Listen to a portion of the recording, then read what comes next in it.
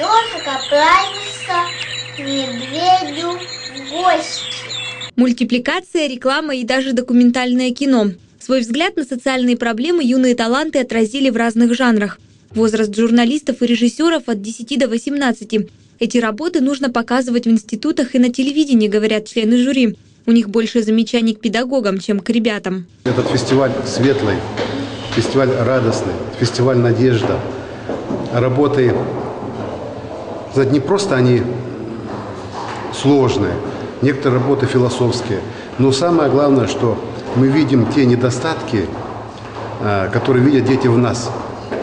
Это очень важно. Дмитрий Хапов – универсальный журналист. Сам снимает, сам пишет и монтирует. На конкурс подросток представил несколько работ, репортаж о масленице и социальные ролики. Жюри пришлось по нраву такое рвение попробовать себя во всем. Юноши присудили первое место в номинации «Социальная реклама».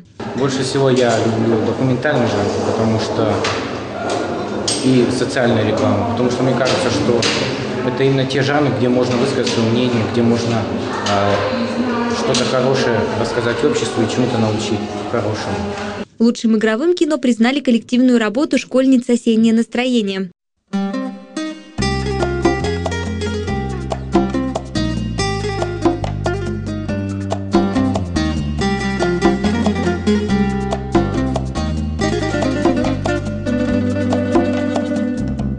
На конкурсе «Свой взгляд» были отмечены и лучшие фотокорреспонденты. Все победители получили грамоты, памятные призы и профессиональные советы известного режиссера Александра Голубкина.